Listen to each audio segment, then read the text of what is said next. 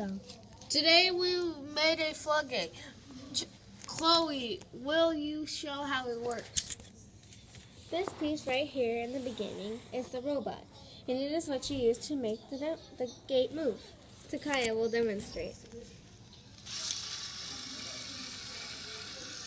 The boat is going to go through the floodgate. How? Because Takaya was going to slow. Okay, I'll make it go for. my hand. I'll make it go for longer. One more second. I just I'm doing it for six seconds. I didn't even know I was supposed to read anything. Okay, ready? Restart. One. Here. Hurry up.